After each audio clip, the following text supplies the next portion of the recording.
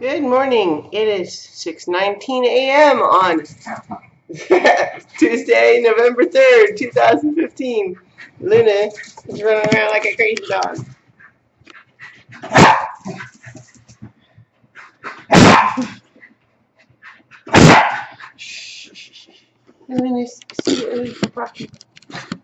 Good girl, good girl. Are you a good puppy? Are you a good puppy? Yes, you are. She is extra excited because we just got back from a longer than usual morning walk. I was very pleased to discover, uh, figure out that um, I don't have to wait that much later to do her walk. She's running. don't have to wait much that much later to do the walk, um, and then it'll be light enough to see. And it makes such a huge difference because the uh, there's next Lena. Shh.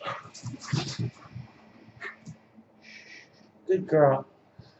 Uh, the path that runs along the river right here near my building is the best place to walk her, uh, but not when it's dark.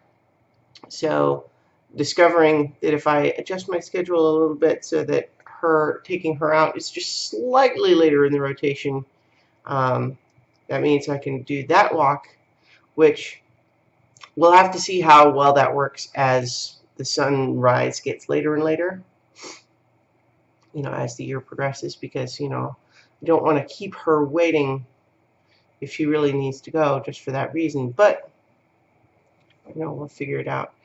Um, so anyway, that was a pleasant discovery. Um, I've also uh, yesterday discovered the grocery store where I'm probably going to do the most of my shopping. Uh, it's pretty nearby. We'll have to drive there compared to my previous place, but you know, that's kind of what I was always used to before just this last year. And it's fine because it's just like a two minute drive down the road from my place, which is and I actually realized that there are um, two other things that I noticed on my way there is that there's a smaller, fancier grocery store also on the way and also a thrift store, which is the place where I would need to go to donate things.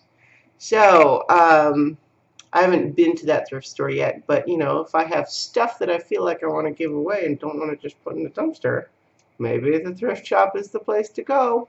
Could be. Boy, I'm kind of in a whew, weird.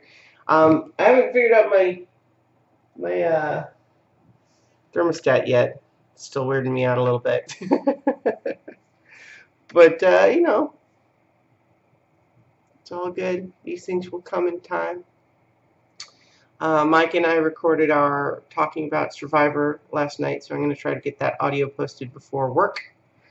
Um, mm, what else? Uh, I don't know. My cable is still not working, so in some ways, uh, you know, like it's just there's that's feels like sort of one last thing left undone. Of course, you say one last thing, still have lots of unpacking to do.